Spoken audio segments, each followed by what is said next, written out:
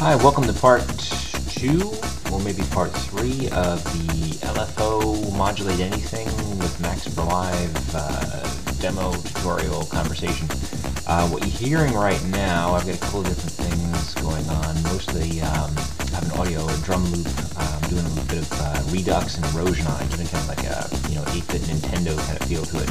Uh, see, I got two LFOs. This one's grayed out at the moment because I opened Max. Uh, you'll see that in a second. And another LFO here. So I'm, I'm using. Let's see what I have going on here. I have. Oops, that's not quite up to date there.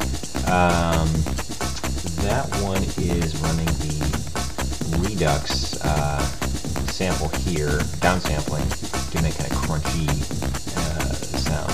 And I have another one running erosion, kind of uh, bringing some white noise, you know, this wide noise in and out. So it gives it a real kind of, you know, like I said, you know, kind of Nintendo Mirage, you know, feel to it. And it's all being modulated, so it's not like boring and stiff. Um, but that's not the main thing of the, uh, of the demo right now. So I'm going to turn that off, or maybe I'll just kind of turn that uh,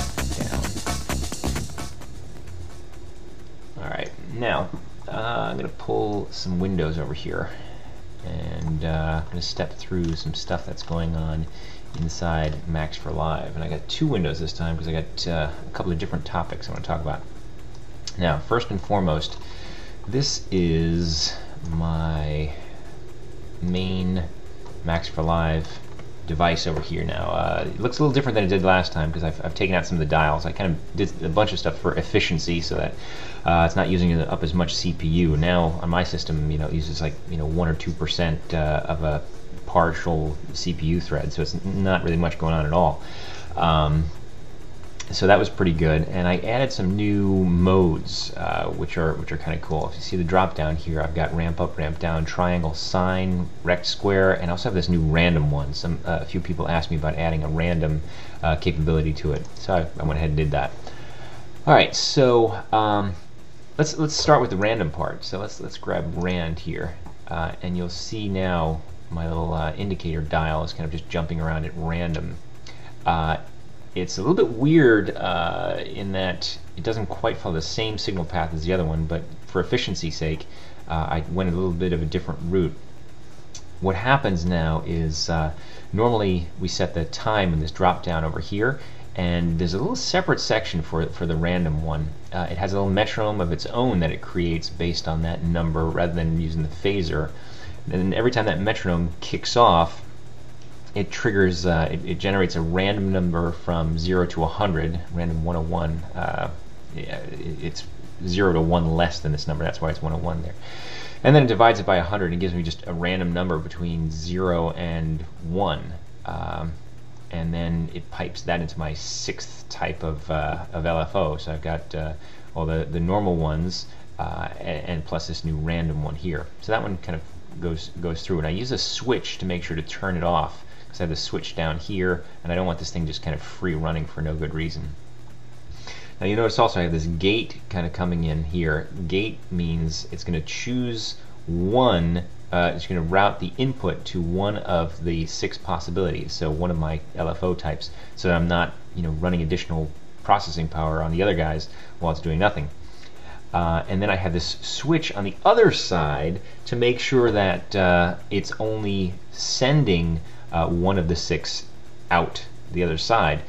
And this might seem a little strange at first. It's like, well, if this is coming in on this side and it's it's only being triggered by this gate, why do you need the switch on the other side?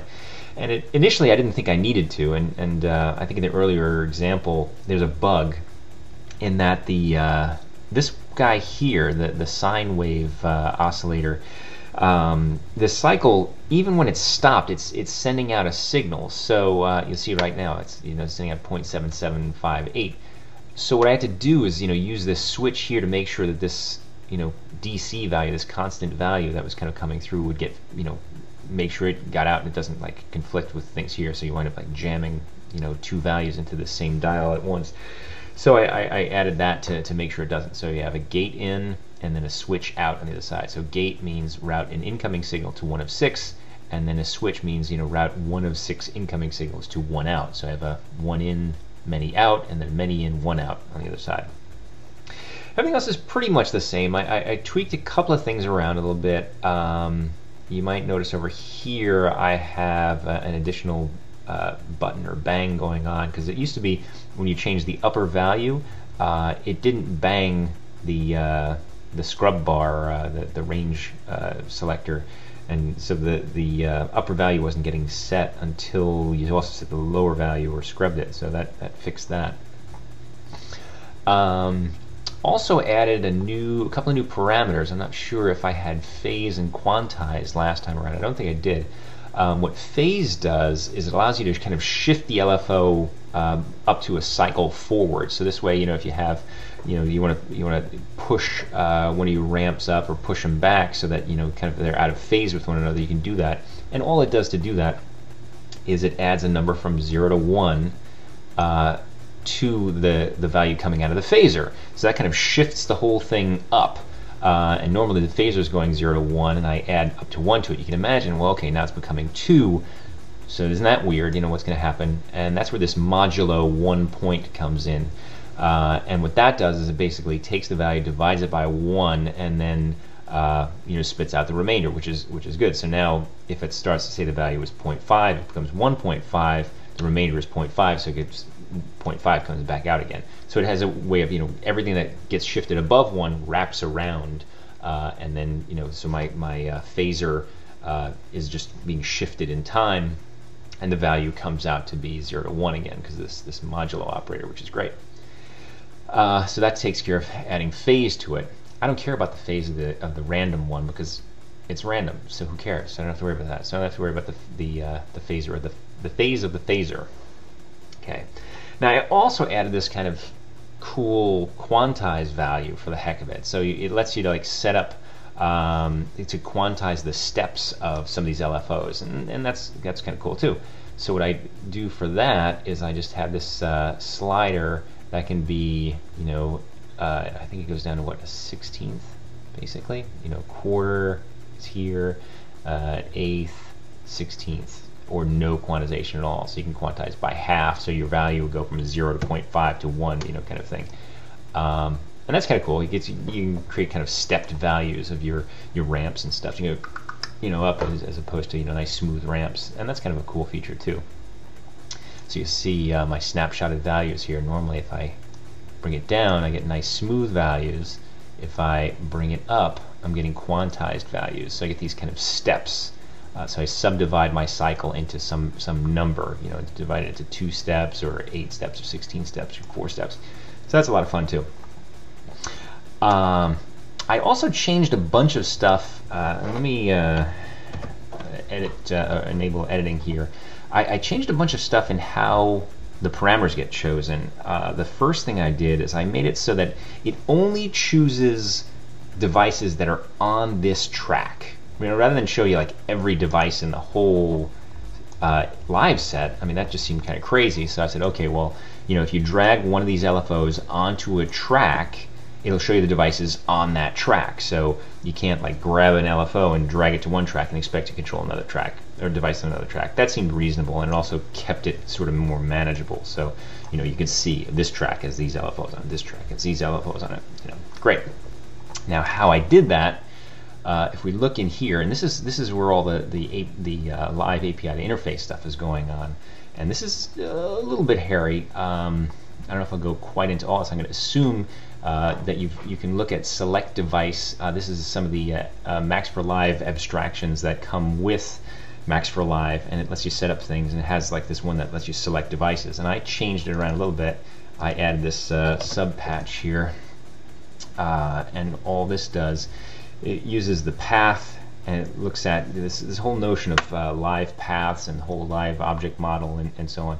Uh, that definitely could be a whole other topic of its own. So maybe if you're interested, let me know and I'll, I'll do yet another tutorial on, on, that. But for this case, the important thing is to know that um, this device can say, okay, tell me, you know, ask me about myself. That's this device. So you say path, this device, canonical parent, what that means is tell me about the parent of this device, right? So this whole object model, if you were a track, your your um, your parent might be the song or the view or something. So it's like the thing that owns you as a, so this device is owned by the, a track, so this way I am able to get out a track ID out of this based on the current device that I'm that I'm in. And that's kind of cool rather than saying, oh, give me all tracks like this, this thing used to. So after it figures out what track it's on, then it trickles through like it normally did, gets all the devices on that track, boom, boom, boom, boom, populates everything, it's all good. Saves it. Uh, there's a little bit of weird stuff going on. The earlier version also didn't save uh, the parameters all right, and that, that was all great. Um, now, all the regular Max for Live stuff, uh, it had one also kind of shortcoming that, that I didn't like. Uh, as you added and removed devices, it wouldn't automatically keep track. Um, you had to like click that button that said, you know, refresh the device, refresh, you know, the track, see what's going on. So I decided to add something, and this introduces this concept of these live.observer, this observer uh, object kind of thing. Um, and what that does is it lets you say, okay, there's something uh, that I want to keep track of, and I want to be informed when something changes. So that's what's going on up here. You'll see there's a load bang, which means as soon as this is loaded, this thing gets banged. I delay for a while. There's a little bit of weird stuff going on. You, you can see some stuff in the forums about this. You know, load bangs are, are kind of strange. There's a whole bunch of initialization steps that go on. So I find more than more often than not is I put a delay in there and, then it more or less works correctly. If I don't put a delay in there, things might not be set up like I think they're going to be before. So I, I delay a little bit. I then say, okay, find out the track I'm on. Uh, so as I'm loading, I find out what track I'm on and I say, okay, I want to monitor, I want to set up an observer for devices on this track. So every time the devices changes, this observer spits out the new value for devices, right? So this, this code in, in Max here is going to get automatically run whenever the devices change on this track, which is kind of cool. Okay, so it bangs out. This bang bang occurs, and this is just a way of saying, okay, I've uh, I split this one bang into three that occur in this order, right to left. So this one, then this one, then this one. And that's important because I have to do a little bit of weird stuff.